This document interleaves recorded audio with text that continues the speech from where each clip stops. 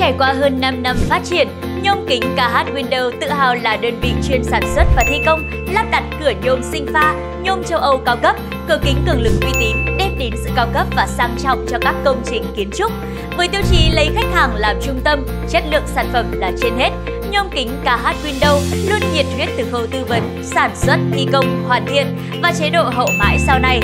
Hiện tại, công ty trách nhiệm hữu hạn cửa đệm Công Thành đang sản xuất, thi công lắp đặt các sản phẩm cửa nhôm sinh pha, nhôm hệ châu Âu cửa slim, cửa trượt quay, cầu thang, lan can, tủ bếp cánh kính, tủ quần áo cánh kính, cửa cuốn, cửa kéo công nghệ Đức, tư vấn trang trí, lắp đặt lưới chống muỗi, phụ kiện khóa mật mã và một số phụ kiện cao cấp nhập khẩu. Nhôm kính KH Window trở thành đối tác tin cậy của nhiều gia đình, tập đoàn và các công ty trong khu vực thành phố Tuy Hòa và trên toàn quốc. Với đội ngũ thợ thi công lành nghề, đội ngũ nhân viên chuyên nghiệp hỗ trợ 24 trên 7 cùng máy móc tiên tiến, ứng dụng công nghệ hiện đại và sản xuất bằng máy cắt nhôm hai đầu CNC, máy ép góc và máy đột khóa thủy lực.